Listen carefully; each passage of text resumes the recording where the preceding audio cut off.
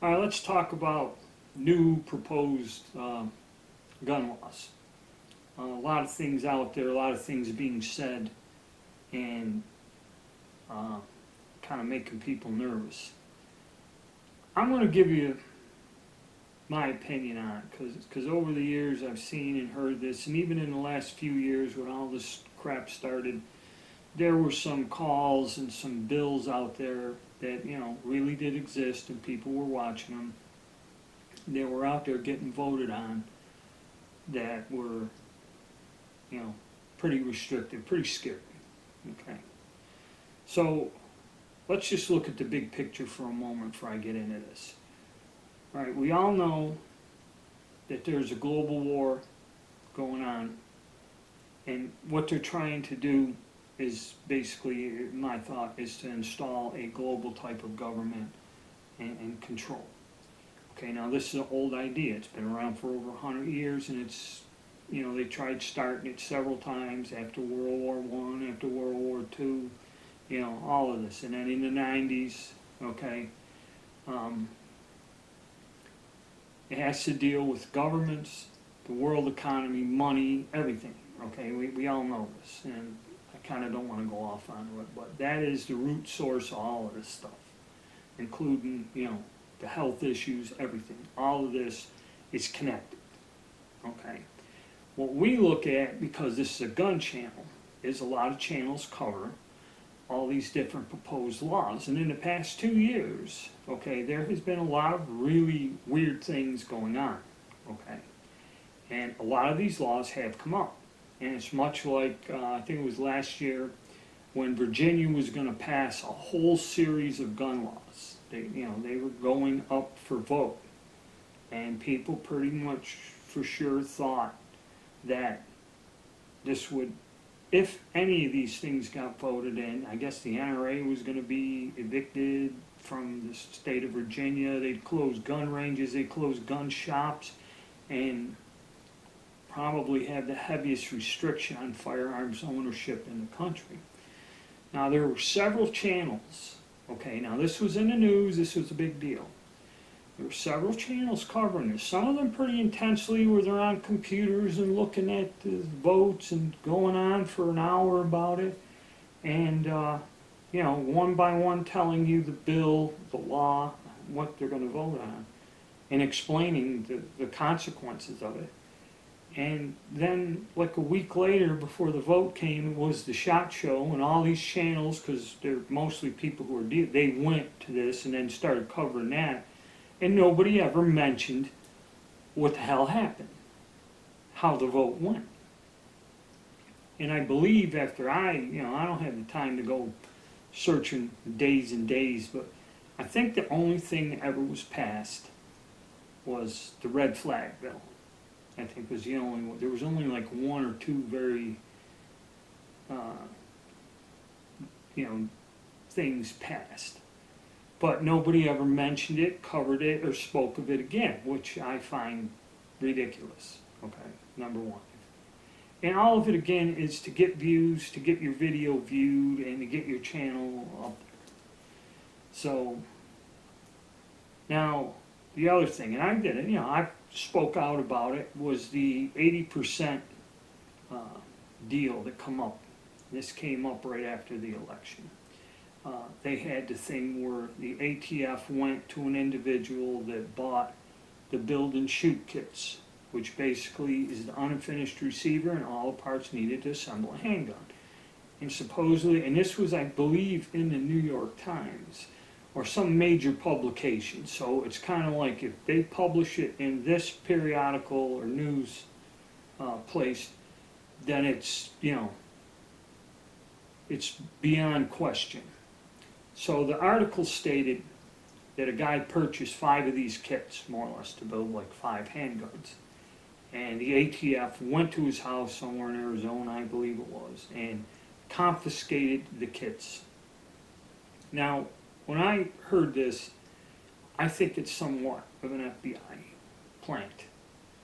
And I'll explain how this all works later on as, as I discuss the main part of what I'm trying, the message I'm trying to get out here. So that caused a panic. that, that caused a great panic, it was on the news. They had the president saying, I'm gonna initiate something, uh, I'm gonna stop all this eighty percent of ghost guns, all these guns we can't trace, we're gonna put an end to all of this right here and now. And I had videos yanked and all this other stuff.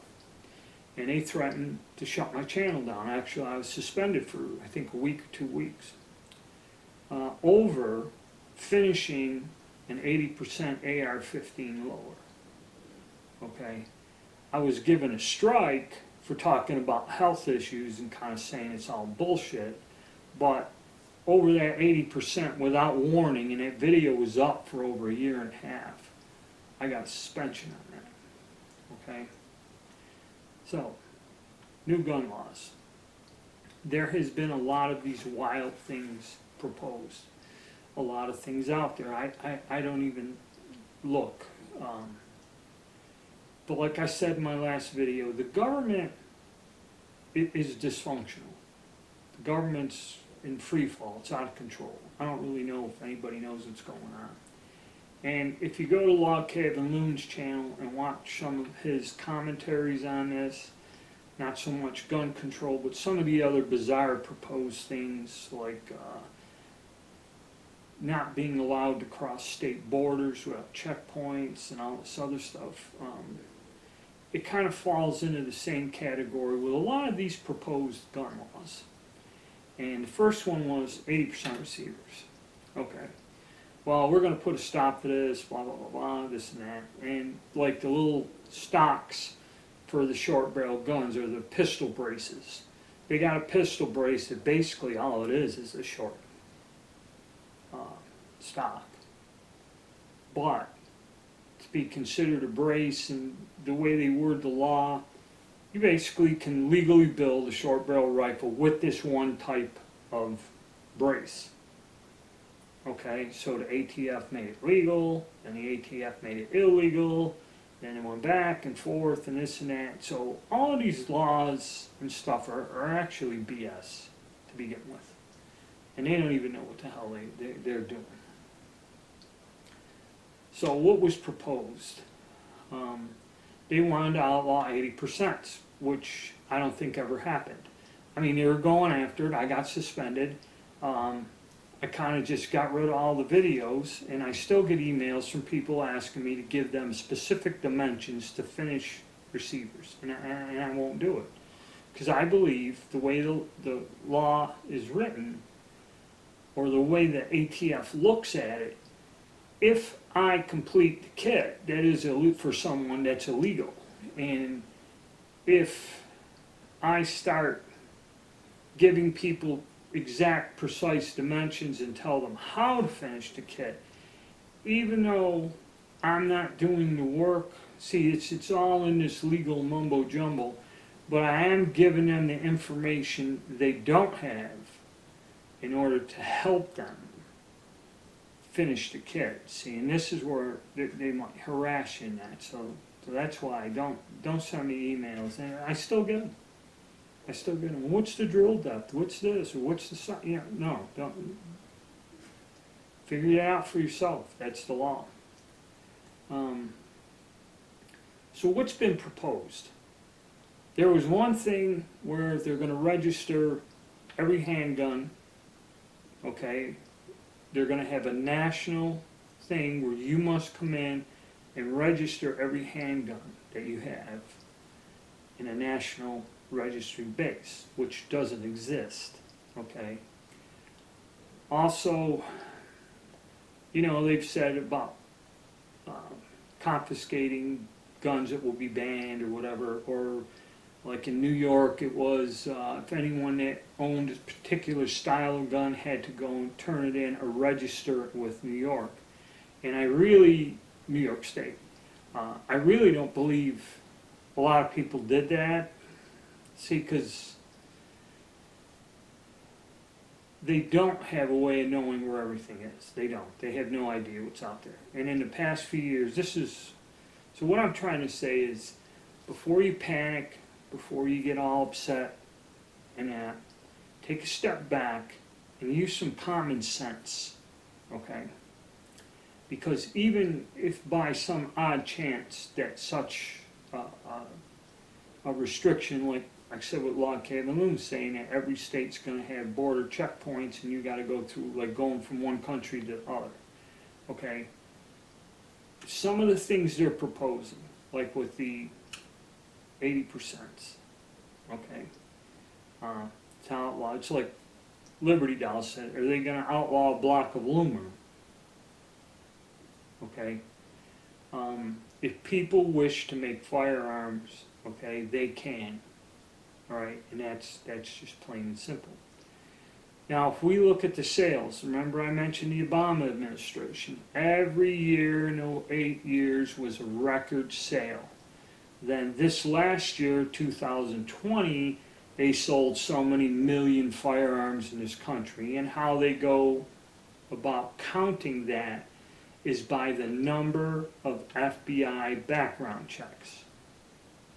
And someone was telling me 2020 set another record year with like 23 million or something. It might not be an exact number, but I'm just gonna say, because it was in passing, I didn't write it down. They sold 23 million guns in 2020 per se. And then something come out that by six months of this year, 2021, they've sold 20 million guns. So, for a government saying that it needs gun control to suppress violent crime and all this other stuff, or gun related violence, an awful lot of people in this country are purchasing firearms. Okay, so how can you say you're going to outlaw something when your citizens are setting a record in arming themselves? You see, so this is the weird conundrum. So they're in a panic, and like Log Cabin Loon said, they're, they're just throwing things out. There, there's no thought behind what they're talking about or what they're doing. And yes, some of the stuff they're proposing is scary, like, um, you know, registering every handgun in a national database. Well, good luck with that, okay? Um, the outlawing eighty percent and that, I, uh, I don't think anything's come of that. I think you can still get it because a lot of these companies that were selling these are emailing me that they have sales and stuff's back in stock again. So you can still buy eighty percent kits, I believe. I, I haven't looked today or this past month with everything going on, but I, I've never seen where they were outlawed. Okay? I'm pretty sure somebody would have said something, or somehow I would have seen it, uh, where they outlawed it, but they haven't. They said they were, they haven't. So a lot of the stuff they're proposing now, a lot of things going on. Uh, the reason you shouldn't panic or get upset, because even if they pass one of these insane laws, there is no way for them to enforce it. Okay? I don't know how many handguns are in the United States of America. And I don't know how they're going to go around and register all of them. Not counting other guns that are not handguns they wish to ban. Okay? There is no way that they can do it. Okay? Much like the vaccinations, they want everybody to do it, but people are not, and I got a problem with it, and I, you know, have my own personal conflict with it.